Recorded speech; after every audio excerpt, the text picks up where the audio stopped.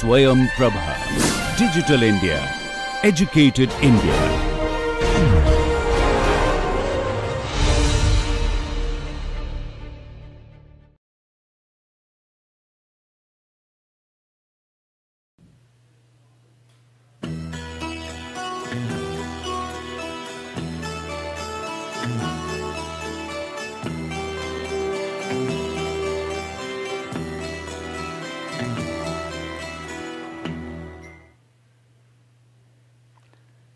Morning. Welcome to the 47th lecture on economics, management and entrepreneurship. So long in our previous 46 lectures, we had discussed various aspects of microeconomics, engineering economy, costing and accounting and various functions of management and different aspects of managerial functions. Marketing management was the last topic that we had taken. There are still a few more topics that should have been considered in management. In particular, we could have devoted one or two lectures each on quality and productivity, human resource management and project management. Unfortunately, the number of lectures is growing beyond bounds. I wish to keep the total number of lectures limited to 50. Keeping that in mind, I have decided to devote today's lecture and the next three lectures on different aspects of forming business, sourcing capital and other aspects of entrepreneurship. These four lectures, today and the next three lectures taken together, will be very important for someone who is actually interested to start a new business in Indian conditions. Today, we shall discuss various forms of ownership that are legally accepted in India. So, that is the topic for today forms of ownership.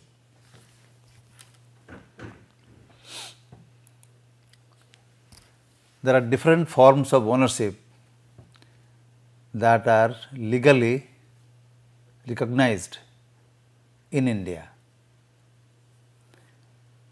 These are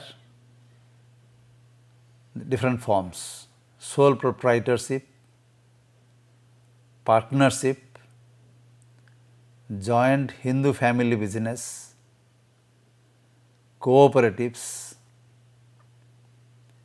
private limited company, public limited company, limited liability partnership, companies within section 25 of Companies Act 1956 and franchise. So, these are different forms of ownership that are recognized by the Indian government and we shall devote some time on each of these form of ownership. So, there are altogether 1, 2, 3, 4, 5, 6, 7, 8 and 9. This last two you will see that uh, they are covered under the previous ones.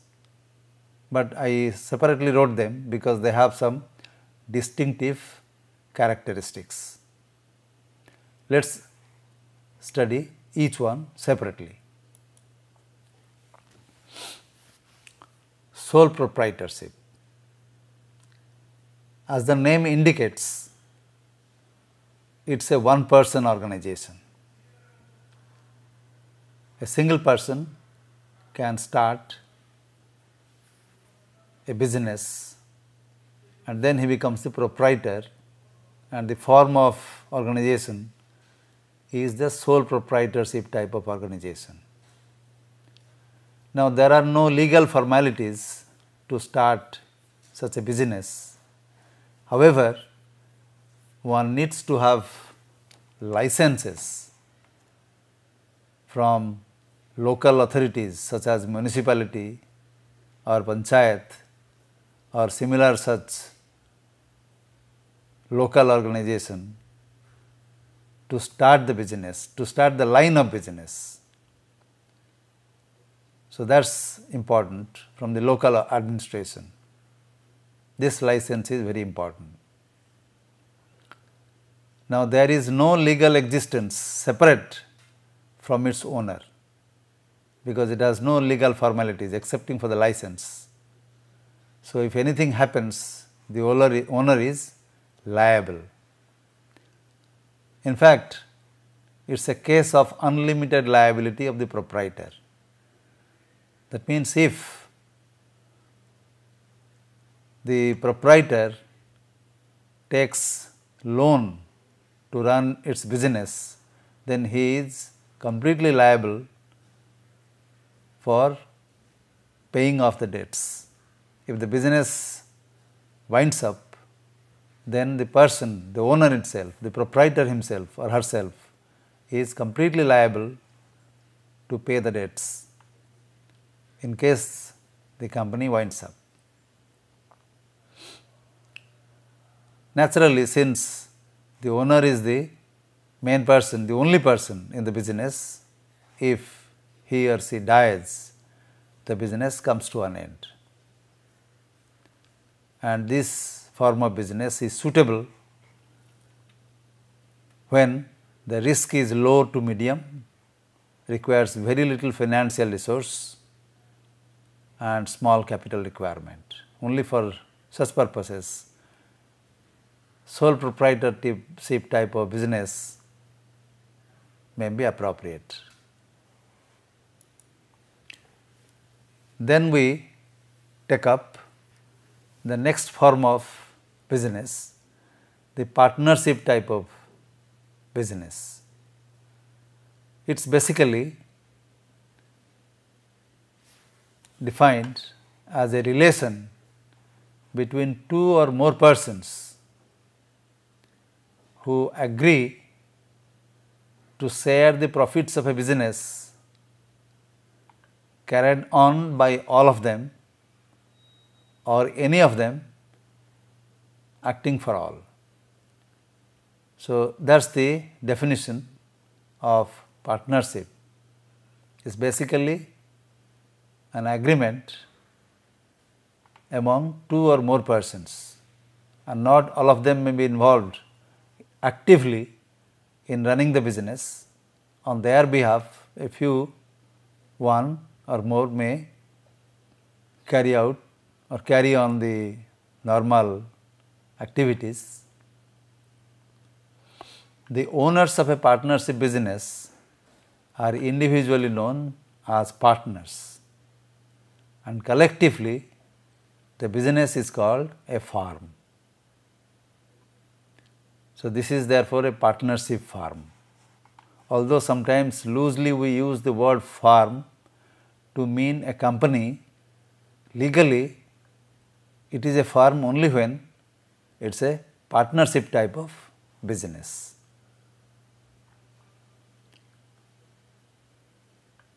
Now, this agreement, its registration is also not essential. That means, the agreement need not be registered or the partnership firm need not be registered. However, if it is desired that such a firm is registered because there may be certain disputes among the partners in the future. Therefore, in their own interest, they may like to register the firm, then it has to be done with the registrar of firms. If at all such a registration is made by the partners, then they will have to register it with the registrar of firms which is available in every state. The minimum number of partners is 2 and the maximum can be either 10 or 20. 10 if it is a business, if it is a banking business and 20 any other type of business. But the minimum can be 2, maximum can as I said 10 can be 10 or 20. Again unless it is registered with the registered firms, it has no separate legal existence and the firms and the partners are the one and the same in the eyes of law. So, if anything a case is registered against firm, then the case is actually registered against the partners forming the firm. So, this is a partnership type of ownership. Now, here just as the sole proprietors in a sole proprietorship type of organization is completely liable for any financial payoff. Similarly, partners in a partnership type of organization also have unlimited liability. That means, if the farm takes a big loan and if the firm is wound up because of financial insolvency, then the partners have to pay back the debt from their own personal property. That is unlimited liability. No partner can transfer his or her interest in the firm to any other person excepting to the existing partners without the unanimous consent of all partners. So, if everybody else agrees, then only a partner can transfer his interest to another person, else not.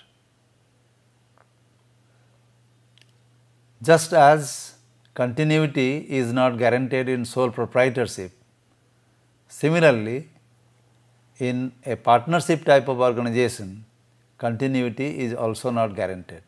It has a limited span of life. Legally, it must be dissolved on retirement, leniency, bankruptcy or death of a partner. Therefore, the continuity is not guaranteed.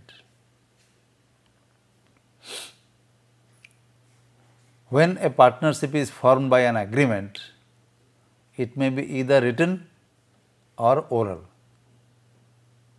And such an agreement, as I said, need not be registered. If the partners agree to register such an agreement to form the firm, then this must be duly stamped and registered and is known as partnership deed and that is done with the register of firms. And there the Indian Partnership Act 1932 all the clauses will apply and the formalities have to be have to go have to be gone through. Now, partnership type of organization is appropriate for medium sized business that involve not very large amount of capital. And this may include small scale industries, wholesale and retail trade, small service concerns like transport agencies, real estate brokers, and even professional firms like chartered accountancy or chartered accountants, doctors clinic or attorney or law firms.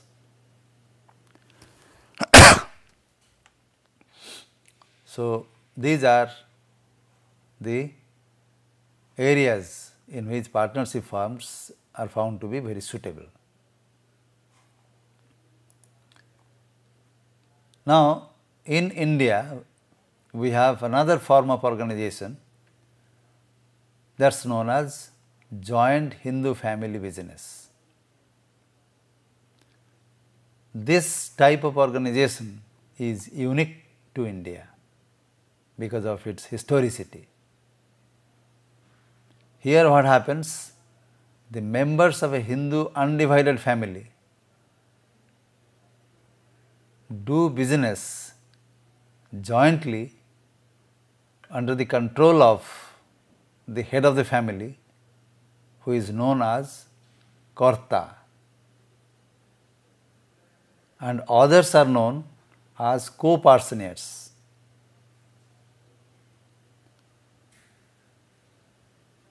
Now, under the Hindu law, such a form of organization comes into existence and is recognized by the Hindu law of the country. And according to the various provisions, the rights and liabilities of the co-partners are determined. Now, there is no legal limit to the maximum number of members. Legally, there is not an upper limit, no upper limit, and also registration is not necessary. And thus, Karta, who is the head of the family and of the business, has unlimited liability, while the liability of the other members that is co-parceners, co-parceners is limited. So, Karta has unlimited liability that means in case of financial insolvency and dissolution of the business, Karta from his own personal property has to meet the debt.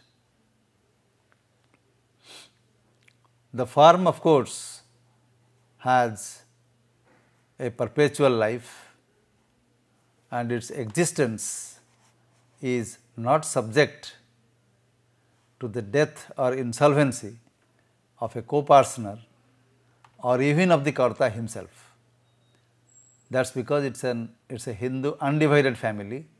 So, if Karta dies, someone else becomes the Karta and others continue to live and therefore, the business is headed by another person who now becomes the Karta and of course, other members of the family act as co-partners and the family business continues. This is the these are the characteristics of joint Hindu family type of business. Then we come to another form of business and they are the cooperatives. Cooperative is basically a society, a voluntary association of 10 or more members. That means a minimum number of members has to be 10. There can be many more who join together on the basis of equality. That means every member has got equal rights in the running of the cooperative and it is voluntary. The primary objective of such a business is service to the members, is to serve members rather than make profits. So, that is the primary objective of a cooperative to provide service to its members. And there are different types of cooperatives that exist in our country consumer cooperative, producers cooperative, marketing cooperative, housing cooperatives, credit cooperatives, farmers cooperatives and so on. A member of a cooperative is free to leave the society whenever he or she wishes. And every such cooperative has to register with the registrar of cooperative societies whose office is available in each state. Under the Cooperative Societies Act 1912 or the State Cooperative Societies Act in every state. So, such a form of organization has to register itself with the registrar of cooperative society. Every member pays an amount to become a member and therefore, the liability of the member is limited to the extent of his capital contribution when he became a member. For example, if a person becomes a member of a cooperative society by paying 100 rupees, then in case of financial insolvency of the cooperative, the person loses a maximum of 1000 rupees, 100 rupees the amount that he had paid as capital contribution, his contribution to become a member of the cooperative. The shares cannot be transferred, but can be returned to the society in case a member wants to withdraw his membership and thus cooperative enjoys the continuity of its existence. Members may come and go, but the cooperative continues. So, these are different aspects or characteristics of cooperative societies. Now, we come to another form of organization is called private limited company. Now, you will see the word limited is present and private is present and company of course. Now, what it is? A private limited company is basically a voluntary association of a minimum of 2 members and a maximum of 50 members. So, a company will have between 2 to 50 members, a private limited company. As the name indicates, a member has got limited liability. Let me tell you that limited liability means that every member pays an amount to become part owner of the company and in case of insolvency the amount that he has given may be forfeited.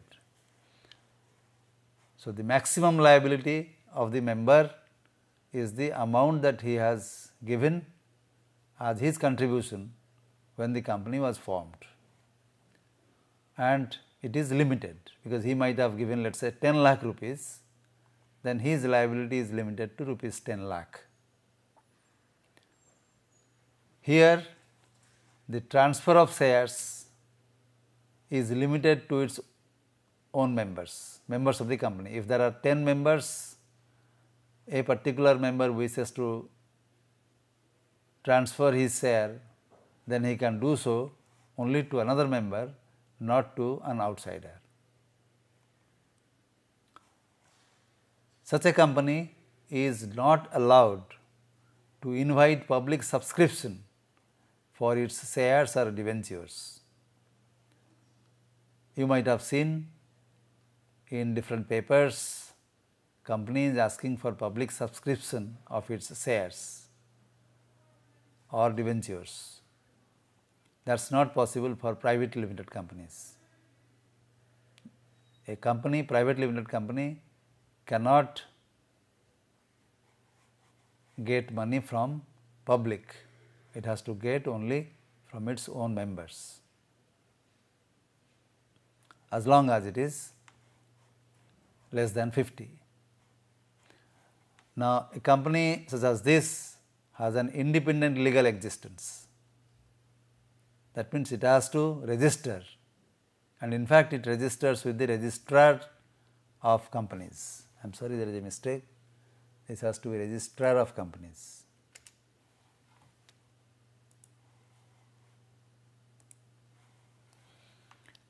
Under the Indian Companies Act 1956, such a company has to register with the registrar of companies and therefore, it has a legal existence and it has an independent legal existence. The meaning of independent is that such a body is an independent entity, such a company is an independent company, independent entity and is different from its owners or from its members. That means, if if let us say somebody files a case against the company, it has to be against the company and not against the members of the company or the owners of the company.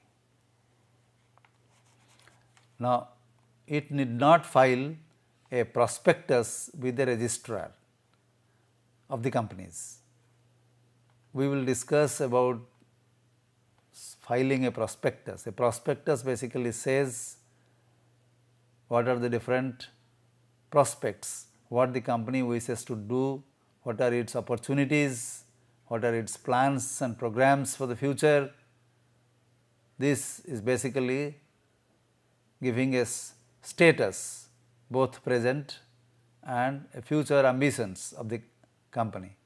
This is normally done to if a company wishes to get money from the public and that is done in a public limited company and not a private limited company and therefore, a private limited company need not file a prospectus with the registrar and also need not obtain a certificate to commence business.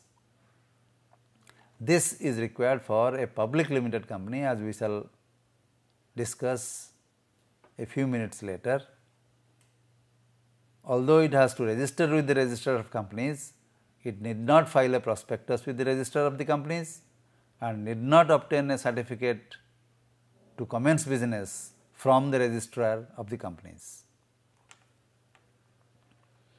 Now, they also do not need to hold statutory general meeting nor file any report with the registrar. These are required for public limited companies because they get the owners are the public, many from public they are the owners therefore, they have to statutorily hold general meeting of its owners or shareholders, but it is not required for private limited companies. Nor the private limited companies need to file any report to the or with the register of companies. Already I have told liability of a member is limited, same thing is written here. It enjoys continuity of existence, it means that a member may die, may withdraw but the company continues. So, there is a continuity of its existence. Such a, such a form of organization is preferred by those who wish to take advantage of limited liability because everybody every owner wishes to have only limited liability to the extent of his contribution while formation of the company is going on, but at the same time desires to keep control over the business within a limited circle and maintain certain amount of privacy of the business. So, these are the three reasons why some persons would like to form a private limited company. One, the liability is limited. Two, the business is within a limited circle, therefore, more control can be exercised. And three, the company matters can be kept to can be kept private. Now we talk of public limited company. Public limited company, it is also a voluntary association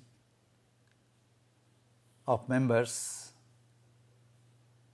The minimum number of the members is 7, whereas in a private limited company it was 2, in a public limited company it is 7 and with no maximum limit.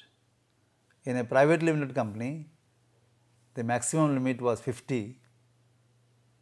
In a public limited company, there is no maximum limit. Like private limited company, it also has a separate legal existence, separate from its members. All the activities of such a company are strictly governed by laws, rules and regulations following the Indian Companies Act 1956. Such a company also has to register with the registrar of companies.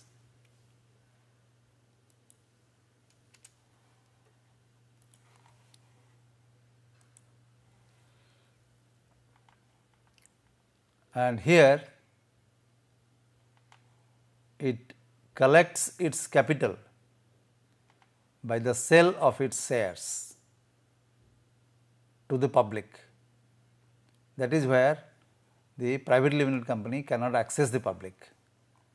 A public limited company on the other hand can approach the public giving its prospectus and asking the public general public to buy its shares and become owners and that is how the capital can be raised for starting a business and for expanding the business. Now, shares of a company are freely traded or transferable unlike in the case of privately limited company where the transfer takes place among the members of the company. Here a, any person can buy anybody else's a company's share from another shareholder. That means, the share of a particular company is freely tradable in the stock market. Liability of a member is limited to the face value of the shares he or she owns. This is also same as the private limited company. However, since the actual owners of a public limited company may lie geographically very far from the place where the company is situated, the actual running of the problem or of the company is done by a board of directors and different managers. The board of directors are actually there to take long term strategies and decisions and they are actually implemented by the managers. And like privately limited company, such a company also enjoys continuity of its existence. Now we talk about still another form of ownership. It is limited liability partnership LLP. Limited liability partnership. Now recall that in a partnership type of organization, the liability of a partner was unlimited. Now, this is a new form of ownership which is legally uh, started by the government in 2008 by promulgating Limited Liability Partnership Act or LLP Act 2008. Thus, it has a very recent origin. Now, what are the features of such a form of ownership? It combines the flexibility of a partnership and the advantages of a limited liability company. So, limited liability, the main advantage of a partnership, main disadvantage of a partnership was that the liability is unlimited, but here the liability is limited. This is useful for small and medium enterprise enterprises and for the enterprises in services sector, particularly for activities involving professionals. This is a good form of partnership, this form of business. It is governed by the Limited Liability Partnership Act 2008. It is legal entity separate from its partners. Now, this is another advantage. There we said that if a partner expires then it the partnership firm ceases to exist. But in this case, it is not so. It is a legal entity separate from its partners. That means, it continues and if any any legal cases come, it will be not against the partners, but against the business. And minimum number of partners is 2 as is the case for, for partnership type of organization and at least 2 individuals are designated as designated partners. Like partnership, it's, it's incorporated uh, and unlike partnership, it is incorporated with the register of societies. Now, normally cooperatives are registered with the register of societies and not partnership, but here it is incorporated with the registrar of societies and it has a perpetual succession because it is a separate legal entity independent of its partners. Therefore, it has a perpetual succession unlike in the case of partnership. But because it is registered with the register of societies, a statement of accounts and solvency shall be filed with the registrar annually. So, every year such a business organization has to submit a statement of its financial accounts and how well it is doing. Solvency means how well it is doing financially it has to be submitted, these two are to be submitted to the registrar every year and further accounts of such businesses will also have to be audited by independent auditors. Further, central government has powers to investigate its affairs. And compromising between uh, any, any whenever there are controversial uh, matters concerning suppliers or customers or between the partners or if this has to merge or amalgamate with some other company or some other business organization, this has to be done in accordance with the provisions of the Limited Liability Partnership Act 2008. So, this is another form of business organization.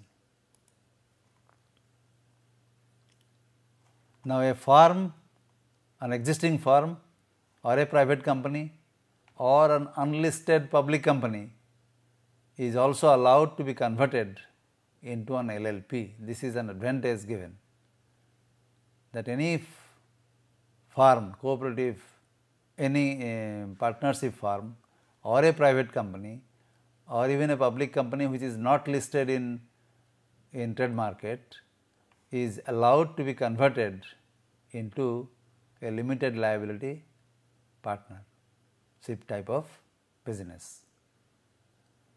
And if an LLP has to be wound up, it can be done either voluntarily or by a tribunal which is established or which can be established under the Companies Act 1956. So, these are the features of li limited liability partnership type of firm. Now, we take up two more forms of business organization. Strictly speaking, they are not, uh, they are little different really. Say for example, this particular one is coming under Companies Act section 25. So, they have some special privileges that is why I thought I should include it as a separate form of business. It is also a company,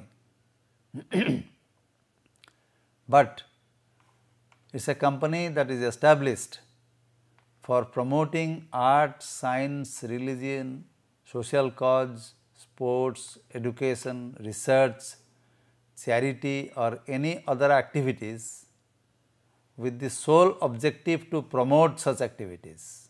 So, this is the promotion of various uh, things art, science, religion, social cause, sports, education, research, charity etc. Profit if any is used to further the same objectives. If such a company makes some profit, this profit will not be distributed as dividends. It will instead be reused to further the very objectives of promoting anything art, science, religion etc.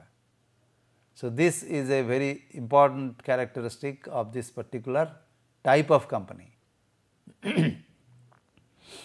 and it has got various privileges and exemptions granted under the company law section 25. For example, it does not require a minimum paid up capital. It does not have to give stamp duty.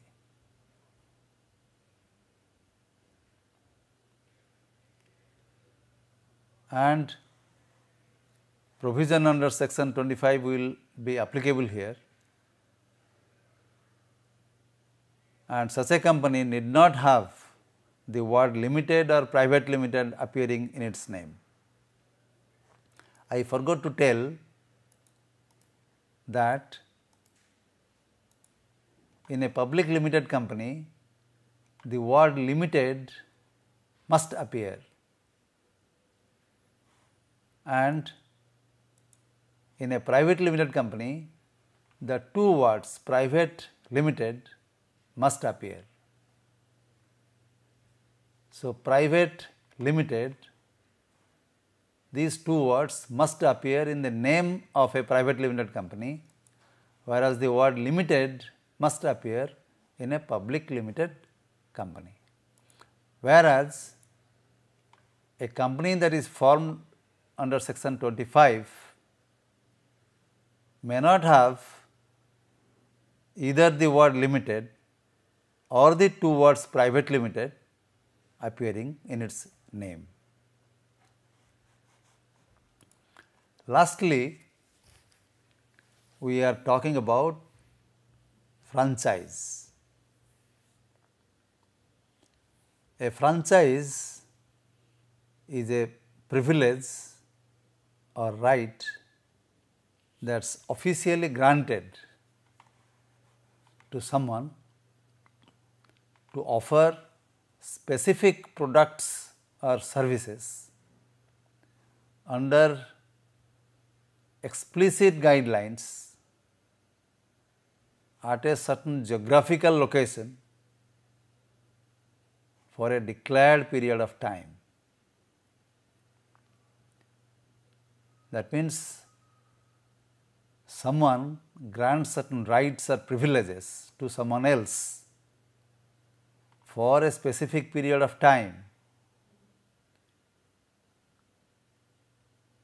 to operate its products and services that is specified under certain explicit conditions or guidelines in a particular geographical location. Now, the one that gives this offer is known as a franchisor and the one that receives the right or the privilege is called a franchisee.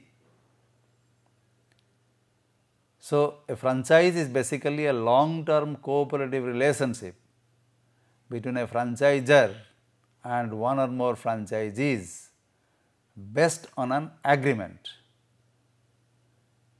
So, basically this is an agreement between a franchisor and a franchisee in which the franchisor provides a licensed privilege to do to a franchisee to do business and as I tell as I, as I said earlier in a particular geographical location and for a specific period of time.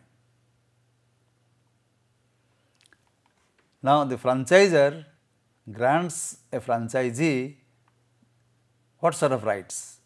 The right to use a developed concept including diverse intellectual property rights such as know-how, designs, brands, trademarks, patents, trade secrets, production methods, service methods, marketing methods and the entire business operation model. So, franchisor gives a license with the help of an agreement to the franchisee uh, many things, its intellectual property rights and various methods of producing, giving service and marketing and even maintaining sometimes the entire business operation model for a fee. Naturally, the franchisee has to pay an annual fee to the franchisor. now, this is on the rise because many multinational companies are setting up franchise franchising or franchise franchises in different parts of India. This has become a worldwide phenomenon. We in India do not have any franchise specific legislation. This should be understood. There is no franchise specific legislation in India. But a franchise arrangement is governed by various statutory enactments and some of them are written down here. A gist of some of the important statutes that are relevant in the context of franchise formation is this. Indian Contract Act 1872, Intellectual Property Law governed by Trademarks Act 1999, Copyright Act 1957 and Designs Act 2002. The Trade and Merchandise Marks Act 1958, the MRTP Act Monopolies and Restrictive Trade Practices Act 1969, Consumer Protection Act 1986 and the other pollution control and environmental related acts that are applicable to all industries and businesses in our country are also applicable to franchises. Various countries are now going to going for legislating rules for franchises, but in India we still do not have that and therefore, one has to go through all this. However, it is not mandatory that the agreement between the franchisor and a franchisee need to be registered. The decision to register or not register the agreement lies with the parties to the agreement. It is not mandatory that they need to register, but if it is registered then it is easy because later if some controversy arises between the two parties then it can be resolved in a much better fashion than if it is not registered at all. So, friends today we have discussed various forms of ownership starting with the sole proprietorship to franchises. In between we talked of partnership firms, cooperatives, privately limited companies, public companies, public limited companies and PPLs. Now, a, an entrepreneur has to naturally be fully aware of different forms of ownership and their characteristics so as to decide what form of ownership is the most suitable for him. In our next class, we shall talk about in particular small scale businesses and how to start a particular form of company. Thank you very much.